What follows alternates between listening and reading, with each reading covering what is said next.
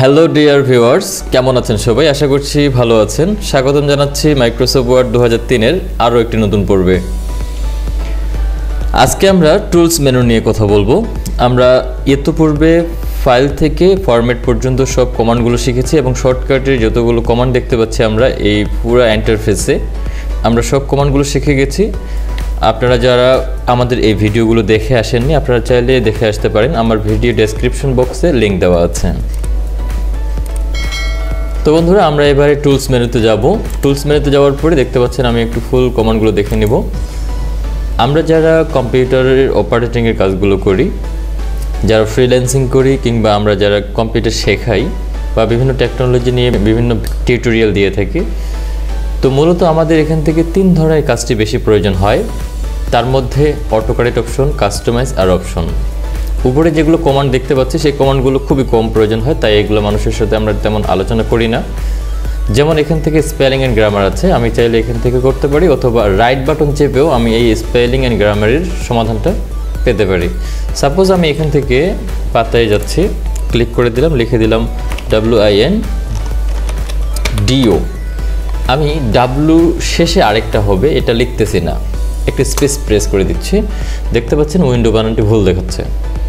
এই উইন্ডো বানানটি যদি সঠিক করতে চাই, তাহলে টুলস মেনু থেকে আমরা এখান থেকে স্পেলিং অ্যান্ড গ্রামারে ক্লিক করে দিতে পারি। দেখতে পাচ্ছেন উইন্ডো বানানটি লাল অক্ষরে দেখাচ্ছে। আপনি চাইলে এখান থেকে যে কোনো বানান নিতে পারেন। আমি উইন্ডো বানানে ক্লিক করে দিচ্ছি দেন এখান থেকে চেঞ্জে ক্লিক করে দিচ্ছি। এবারে যদি আমি এখান থেকে দেখতে পাচ্ছেন, সবুজ কালার দেখাচ্ছে। তো এটাও কীভাবে সমাধান করা যায়? দেখেন, প্রথমে আমাদের এখান থেকে ডাব্লুটা ছোট হাতের আছে, এখান থেকে বড় হাতের একটা অক্ষর দিয়ে সাজেশন করতেছে। আমি যদি এটা আবারও চেঞ্জ করে দিই, দেখব আমার এটা অবশ্য এখানে আর নাই। এখন আমি এটা ক্লোজ করে দিলে দেখতে পাচ্ছেন, আর যে বাকিগুলো লাল লাল দেখাচ্ছে, আমাদের লেখাগুলো শেষে সেগুলো বানান ভুল। তো আমি গত পর্বে এগুলো শিখেছিলাম, তো জন্য আমি নিচের দিকে আসতেছি। দেখতে পাচ্ছেন এখান থেকে উইন্ডো বানানটি এবারে সঠিকভাবে এসে গেছে। এই সমস্যাটি আমি চাইলে এখান থেকে সমাধান করতে পারব। আমি কেটে দিচ্ছি, খুব সোজাভাবে আমি একটু শেখাচ্ছি আপনাদেরকে। যেমন W I N D O space press করে দিচ্ছি, লাল বাটন দেখাচ্ছে। তার মানে আমাদের এই শব্দটি নিচে লাল একটা আন্ডারলাইনের মতো দেখাচ্ছে। আমি যদি এটার উপরে রাইট বাটন প্রেস করি, দেখতে পাচ্ছেন এখানে উইন্ডো বানানটি দেখাচ্ছে। ক্লিক করে দিলাম। এরপর দেখতে পাচ্ছি সবুজ কালারের আন্ডারলাইনের মতো দেখাচ্ছে। তার মানে এটা নর্মাল ভুল। হয়তো ডাবল স্পেস হয়ে গেছে, হয়তো স্পেস হয়ে তারপরে ফুল স্টপ হয়েছে, অথবা আমাদের বড় হাতের বা ছোট হাতের এরকম কোনো সমস্যা হয়েছে। এটা হচ্ছে নর্মাল ভুল। আর যদি লাল কালার দিয়ে এরকম করে থাকে, নিচে একটা আন্ডারলাইনের মতো, তাহলে মনে রাখতে হবে যে এখানে কোনো না কোনো ভুল আছে। ভুল আছে বলতে অবশ্যই কোনো অক্ষরের হয়তো ভুল আছে। যে সকল শব্দ ডিকশনারিতে পাওয়া যাবে, এবং সেগুলোর নিচে যদি এরকম রেড মার্ক অথবা গ্রিন মার্ক হয়ে থাকে, তাহলে মনে রাখবেন সেগুলো সমাধান করা সম্ভব রাইট বাটন প্রেস করে। আর যদি সেগুলো ডিকশনারিতে না পাওয়া যায়, তাহলে সেগুলোর সমাধান পাওয়া যাবে না। যেমন উইন্ডো বানানোর উপরে রাইট বাটন ক্লিক করে দিচ্ছি, এখান থেকে আমি দেখতে পাচ্ছি ডিকশনারিতে যেহেতু এই শব্দটা আছে, সেজন্য আমি এখান থেকে উইন্ডো বানানটি নিতে পারতেছি। আমি ক্লিক করে দিচ্ছি লেফট অ্যাঙ্গুল দিয়ে। দেখতে পাচ্ছেন উইন্ডো বানানটি চলে আসছে।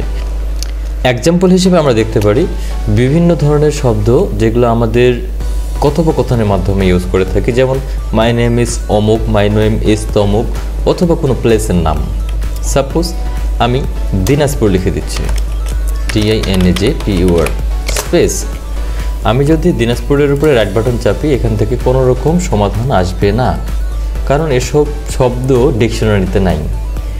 যেহেতু নাই, সেক্ষেত্রে আমাদের রেড হয়েই থাকবে, এটা সমাধান করা যাবে না। সর্বোচ্চ যেটা করতে পারে বড় হাতে করে দিতে পারেন প্রথম শব্দের অক্ষরটাতে। সেম এই কাজটি হচ্ছে টুলস থেকে স্পেলিং অ্যান্ড গ্রামারের এছাড়া আমরা এখান থেকে ওয়ার্ড কাউন্ট যেটা শব্দ কাউন্ট করা হয়, হিসাব করা হয়, আমি ক্লিক করে দিলে আমাদের এখানে কয়টা শব্দ আছে সেটা বলে দিচ্ছে।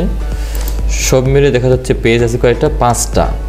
আমাদের এখান থেকে হিসাব করলে দেখব, সত্যি সত্যি আমাদের পাঁচটা পেজ আছে। আমি যদি ক্লোজ করে দিই, এখান থেকে দেখতে পাচ্ছেন, আমার এটা চার নম্বর পেজ যে এখানে শো করাচ্ছে দেখবেন।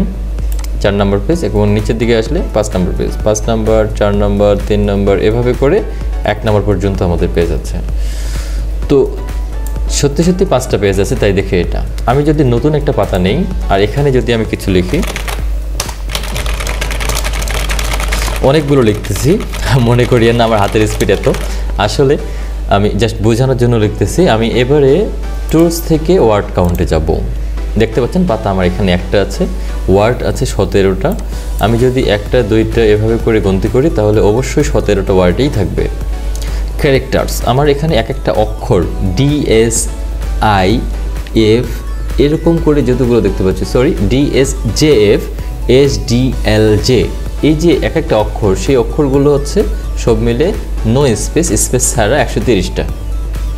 যদি আমরা এখন স্পেস সহ অক্ষর গুনতে চাই, তাহলে দেখব উইথ স্পেস এখানে একশো পঁয়তাল্লিশ, তার মানে আরও পনেরোটা স্পেস আমার এক্সট্রা এখানে ইনক্লুড করা আছে। টোটাল মিলে প্যারা আছে দুইটা। আমি যদি হিসাব করে দেখি, এখান থেকে একটা ইন্টারপ্রেস করছি দেন এখান থেকে লিখছি, লিখে ভেঙে আবার এখান থেকে চলে আসছে। এই জন্য দুইটা দেখাচ্ছে। লাইন আছে তিনটা। দেখেন সত্যি সত্যি লাইন আছে তিনটা। তো এভাবে করে হিসাব নিকাশগুলো করার জন্য বা জানার জন্য যদিও তেমন কোনো প্রয়োজন হয় না যদি প্রয়োজন হয়ে থাকে, তাহলে অবশ্যই এখান থেকে দেখতে পাবেন। আর যদি প্রয়োজন না হয়, তাহলে এই কমান্ডটি আপনার রিয়াকশন করার প্রয়োজন নেই। এরপরে যাচ্ছি আমরা টুলস থেকে লেটার অ্যান্ড মেইলিং আমরা এখান থেকে ইনভেলপ তৈরি করতে পারি। যদিও এ সমস্ত জিনিস আর এখন প্রয়োজন হয় না, তাই আমি এগুলোতে বেশি একটা গুরুত্ব দেই না, কাউকেই বলি না যে আপনারা এই সমস্ত জিনিস রিএক্সেল করেন। আমি শর্টকাট কিছু টেকনিক দিয়ে দেখাই দিই। আমি শর্টকাট কিছু বিষয় নিয়ে আপনাদের সামনে নতুন একটা ভিডিও দেব। আপনারা চাইলে সেই ভিডিওটি দেখে আসতে পারেন। হয়তো দুই একদিনের ভিতরে আপনাদেরকে সেই ভিডিওটি দেওয়ার চেষ্টা করব, ইনশাআল্লাহ। এরপরে চলে আসি মূল কমান্ডগুলোতে। আমরা এখান থেকে অটো কারেক্ট অপশন দেখতে পাচ্ছি, অটোমেটিক কারেক্ট আমি এখানে ক্লিক করে দেওয়ার পরে দেখতে পাচ্ছেন এখানে কোনো রকমের টিক চিহ্ন নাই, তাই দেখে আমাদের অটোমেটিক কারেক্ট হচ্ছে না। আমি এখান থেকে টিক চিহ্ন দিচ্ছি। সবগুলোতে টিক চিহ্ন দিয়ে রাখতেছি। আমি এই যে ঘর বাটনগুলো দেখতে পাচ্ছেন, এখানে ক্লিক করে দিলে আমার এখানে টিক চিহ্ন হয়ে যাবে।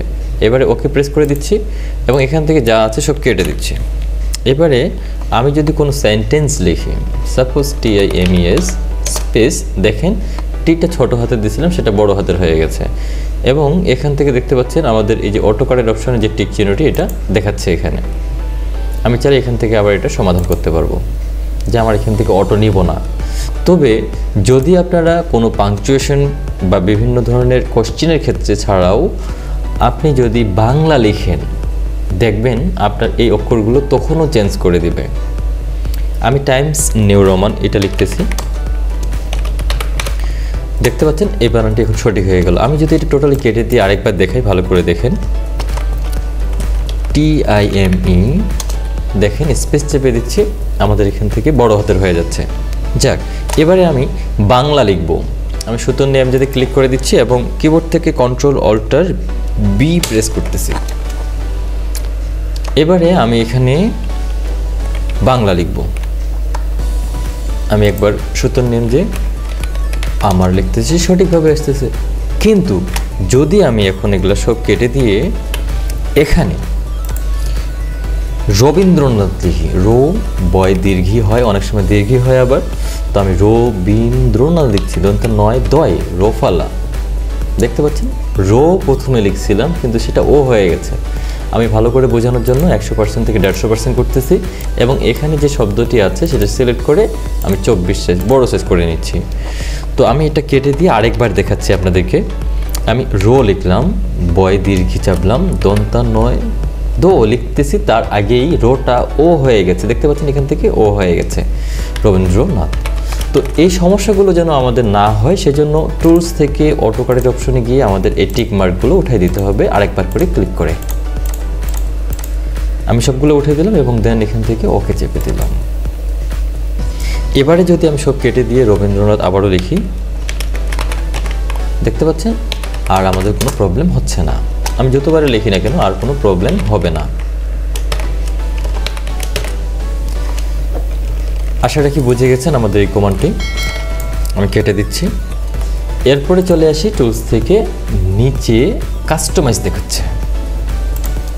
আমি এই কাস্টমাইজ যে কমান্ডটি দেখতে পাচ্ছি, এটাতে ক্লিক করে দিলে আমরা কয়েকটা কমান্ড এখান থেকে নিজের মতো করে তুলে দিয়ে এবং নিয়ে আসতে পারি। যেমন এখান থেকে টুলবোর্ডগুলো উঠে দিতে পারি। যেমন এখান থেকে দেখতে পাচ্ছেন, আমরা গত পর্বে শিখেছিলাম ভিউ কমান্ডে বা ভিউয়ের যে কমান্ডগুলো শিখেছিলাম, সেই ভিডিওতে দেখবেন আপনারা যে এখান থেকে টুল বারে গিয়ে আমরা এখান থেকে স্ট্যান্ডার্ড টুল বার ফরম্যাটিং বার এখান থেকে ড্রয়িং বার এগুলো উঠাই দেওয়া যেত এবং নিয়ে আসা যেত সেম বিষয়টি টুলস থেকে কাস্টমাইজ আমি এখান থেকে টুল বারের এখানে গিয়ে স্ট্যান্ডার্ড টুল বার ফরম্যাটিং বার এগুলো উঠাই দিতে পারি। দেখেন এগুলো নাই।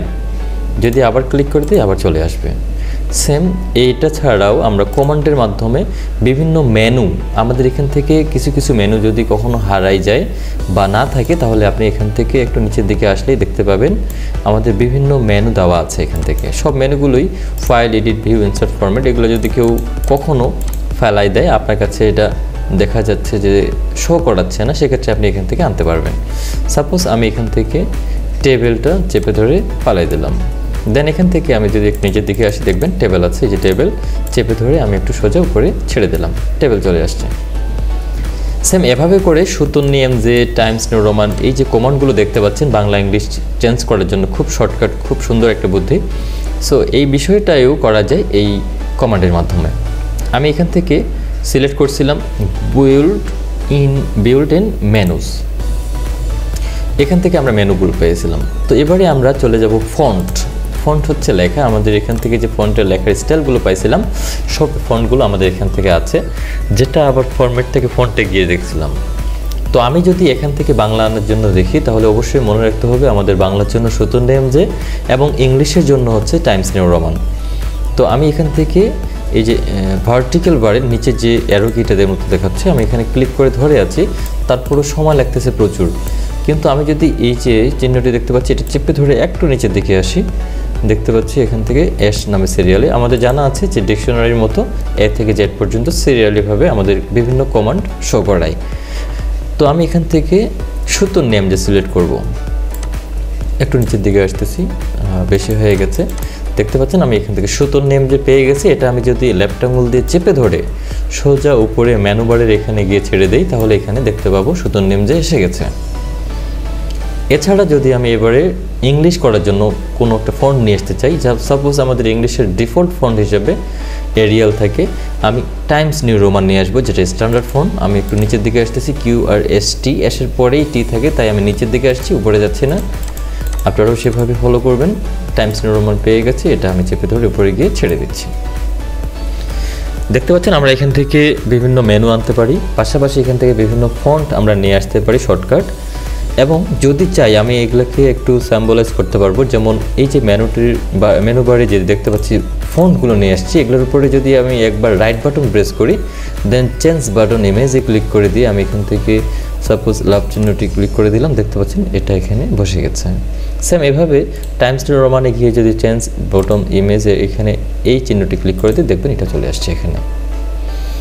এভাবে করে আপনি নিজের মতো করে সাজাতে পারবেন আপনার কম্পিউটারটাকে আমি এটা এখন কেটে দিচ্ছি। এরপরে অপশনে কোনো কাজ নাই। তারপরেও আমি বলে দিচ্ছি, এখান থেকে always show full menu full ম্যানুটাকে show করার জন্য ফুললি এটা আমাদের দেখাবে। দ্বিতীয়ত হচ্ছে এখান থেকে লার্জ আইকন আইকনগুলো আইকনগুলোকে বড় করে দেখাবে। যদিও আমাদের এগুলো প্রয়োজন নাই, তাই আমরা এগুলা কোনো রকমের কোথাও হাত দেবো না। টিক চিহ্ন যেভাবে আছে, সেভাবেই থাকবে। এছাড়া অন্য কোনো জিনিস আমাদের এখানে চাপার প্রয়োজন নাই। আমি ক্লোজ করে বের হয়ে আসতেছি। আপাতত আপনাদের যেসব জিনিস প্রয়োজন, আমি সেসব কমান্ডগুলো সবগুলো শেখাচ্ছি যেন আপনাদের কোনো রকম প্রবলেম না হয়। কেটে দিলাম। এরপর আজকের লাস্ট কমান্ড হিসেবে আমরা চলে আসছি অপশনে অপশনে গেলে আমাদের বিভিন্ন কমান্ড উঠায় দেওয়া এবং নিয়ে আসা আমরা জানি যে টিক চিহ্নর মাধ্যমে।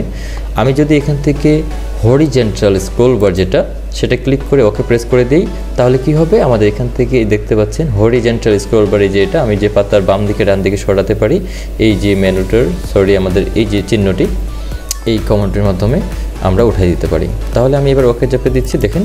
এই যে আমাদের স্ক্রোল বারটি ছিল, সেটা আর নাই। আমাদের এখান থেকে ভার্টিক্যাল স্ক্রোল বার আছে। আমি টুলস থেকে আবারও অপশনে যাচ্ছি এবং এখান থেকে স্ক্রোল বারটি আবারও নিয়ে আসব। সেই জন্য হরিজেন্টাল স্ক্রোল বারে ক্লিক করে দেবো। ভার্টিক্যাল স্ক্রোল বার একই সিস্টেম তার মানে এটা উঠায় দেওয়া এবং নিয়ে আসা। আপনি যদি না থাকে, তাহলে নিয়ে আসতে পারবেন এই কমান্ডটিতে টিক চিহ্ন দিয়ে। সেম এভাবে করে স্ট্যাটাস বারের বা বিভিন্ন টাচপেন দেওয়া আছে। এগুলো আপনি নিয়ে আসতে পারেন উঠে দিতে পারেন। তবে এখান থেকে কোনো কমান্ডে হাত না দেওয়াই ভালো। ডিফল্ট অবস্থায় সব কিছুই আপনার থাকবে। যদি না থাকার কোনো বিষয় থাকে, তাহলে টুলস মেনু থেকে যেগুলো শেখালাম এবং এখন যেটা বলতেছি, তার ভিতরে দুইটা জিনিস থাকবে না। একটা হচ্ছে সুতুর নেম যে টাইমনি রোমান এই উভয়ই একটা কমান্ড এটা থাকবে না আপনার মাইক্রোসফট ওয়ার্ডে নতুন অবস্থায়। এটাকে নিয়ে আসতে হয়। আপনি যদি দেখেন এখানে নিয়ে আসা আছে, তাহলে বুঝবেন। অবশ্যই কেউ নিয়ে আসে দিছে এখানে, অটো হয়নি। আপনি যদি আরেকটা জিনিস ফলো করেন, সেটা হচ্ছে আপনার মাইক্রোসফট ওয়ার্ডে মার্জিনের কোনো চিহ্ন থাকবে না। এই মার্জিনটিও উঠানো থাকবে। তো আমি মার্জিনটা শো করাবো ঠিক টেক্সট বাউন্ডারিতে টিক চিহ্ন দিয়ে। তো এখন বর্তমানে টিক চিহ্ন দেওয়া আছে বিধায় আমাদের মার্জিনটি শো করাচ্ছে। আমি এবারে টেক্সট বাউন্ডারিতে ক্লিক করে দিচ্ছি দেন এখানে ওকে চেপে দিচ্ছি। দেখতে পাচ্ছেন এখানে মার্জিনের কোনো চিহ্ন দেখতে পাচ্ছি না, আর আমি ফুল পাতায়। উপরে নিচে যাচ্ছি, দেখতে পাচ্ছেন নাই? ঠিক টুলস থেকে যখনই আমি অপশনে যাব এবং এখান থেকে টেক্সট বাউন্ডারিতে ক্লিক করে দিয়ে ওকে প্রেস করে দেব, সাথে সাথে আমাদের মার্জিন চলে আসবে। তো বন্ধুরা আমাদের আজকের ভিডিওটি কেমন লাগল জানি না, আপনারা কমেন্ট বক্সে জানিয়ে দিবেন। আর নেক্সট ভিডিওটি আমাদের ট্যাবেল সম্বন্ধে থাকবে। আশা রাখি নেক্সট ভিডিওটিও দেখবেন। তাহলে মাইক্রোসফট ওয়ার্ডের যত রকম কমান্ড আছে, সব কমান্ডগুলো আপনারা শিখে যাবেন। মাইক্রোসফট ওয়ার্ড দু হাজার তিন, আট এবং এক্সপি যে সফটওয়্যারটি আছে, সব কমান্ডগুলোই আপনি নিজের থেকে রিএক্সেল করে আপনি বিভিন্ন কাজ সমাধান করতে পারবেন। তো বন্ধুরা, আমার ভিডিওটি যদি এতটুকু আপনার ভালো লেগে থাকে, অবশ্যই লাইক কমেন্ট করতে ভুলবেন না। আর সাবস্ক্রাইব করে সাথেই থাকবেন। অবশেষে সব মিলে ভালো থাকবেন। আল্লাহ হাফেজ।